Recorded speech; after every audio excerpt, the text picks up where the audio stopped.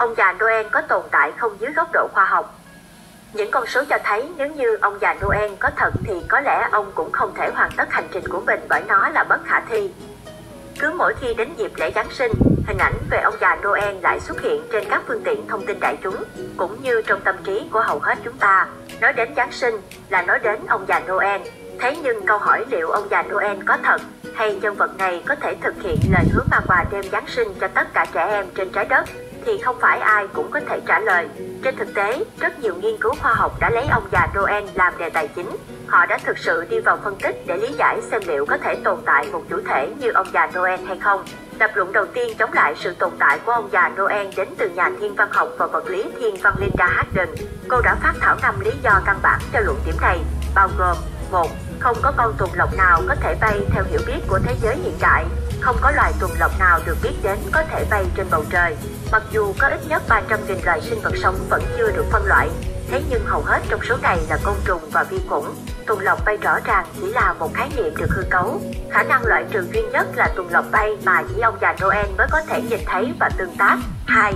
Ông già Noel có thể mang quà tới cho tất cả trẻ em. Có khoảng 2 tỷ trẻ em, tính đến độ tuổi dưới 18 trên thế giới.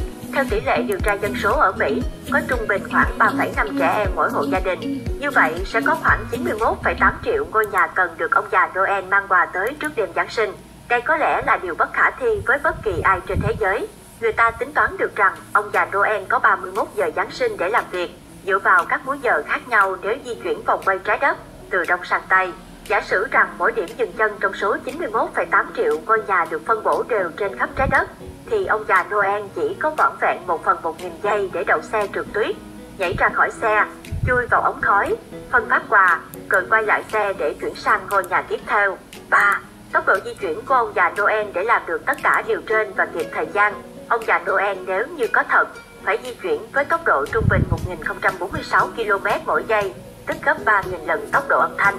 Để so sánh phương tiện nhân tạo nhanh nhất trên trái đất, tàu thăm dò không gian Ulysses có thể di chuyển với tốc độ 44 km giây. 4. Trọng tải trên xe trượt tuyết Trọng tải trên xe trượt tuyết cũng bổ sung thêm một yếu tố thú vị khác. Giả sử rằng mỗi hộp quà là một bộ xếp hình cỡ trung, nặng 0,9 kg, thì xe trượt tuyết của ông già Noel đang chở khối lượng khoảng 321.300 tấn. Trên đất liền, tuần lộc thông thường có thể kéo vật nặng không quá 136 kg. Như vậy, chúng ta cần ít nhất 214.200 con tuần lộc để có thể kéo theo trọng tải trên. Thế nhưng điều này lại làm tăng tải trọng lên con số 353.430 tấn.